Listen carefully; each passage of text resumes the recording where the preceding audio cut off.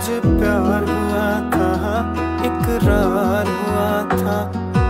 कहानी सुनो जुबानी सुनो मुझे प्यार हुआ